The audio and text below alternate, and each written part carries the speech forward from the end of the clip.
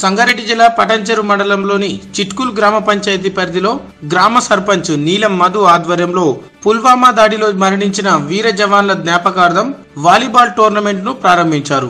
ఈ సందర్భంగా వారు మాట్లాడుతూ యువత క్రీడలతో పాటు అన్ని రంగాలలో ముందుండాలని తెలిపారు. పుల్వామా దాడిలో మరణించిన ఎంతో మంది వీర జవాన్లకు జ్ఞాపకార్థంగా వాలీబాల్ టోర్నమెంట్ను నిర్వహిస్తున్నామని తెలిపారు. చిట్కూల్ గ్రామ అభివృద్ధికి తోడ్పడుతున్న ఉప సర్పంచ్ ఎంపీటీసీ వార్డు సభ్యులకు గ్రామస్తులకు కృతజ్ఞతలు తెలిపారు.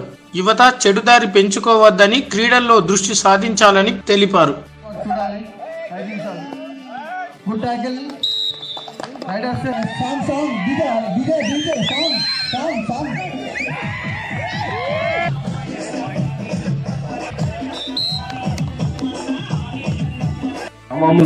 పొలమా దాడిల్లో అమరులైన అమర అమరులైన వీర జవాన్లకు ఇది రెండో సంవత్సరం. ఈ ఆర్గనైజింగ్ కూడా పండు రామకృష్ణారెడ్డి పండు వాళ్ళ టీం కూడా పోయినసారి కూడా గ్రాండ్గా సక్సెస్ చేసారు దానికి కూడా మేము అందరం కూడా సహకరించాం మా ఉప సర్పంచ్ గారు ఎంపీటీసీలు వార్డ్ మెంబర్లు మా గ్రామస్తులు నా మిత్రులు అందరు కూడా సహకరించారు.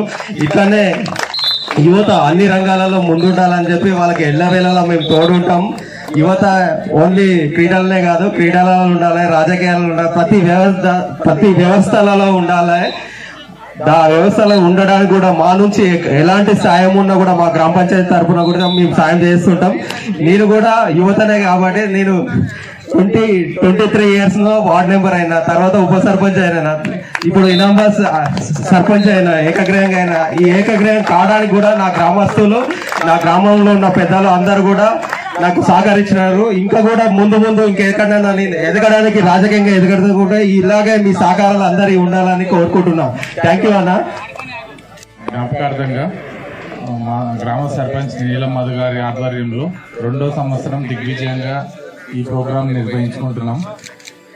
ఎంతో పట్టుదలతో యువతను ప్రోత్సహించాలనే ఆశయంతో మీ అందరికీ ఇటువంటి అవకాశాలు కల్పిస్తున్న మదన్న గారికి అలాగే మా గ్రామం తరపున మీకు ఎల్లవేళ సహ- సహకారాలు ఉంటాయని కోరుకుంటూ సెలవు.